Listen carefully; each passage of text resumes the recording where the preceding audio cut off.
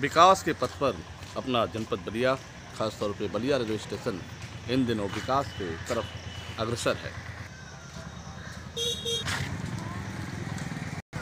देखा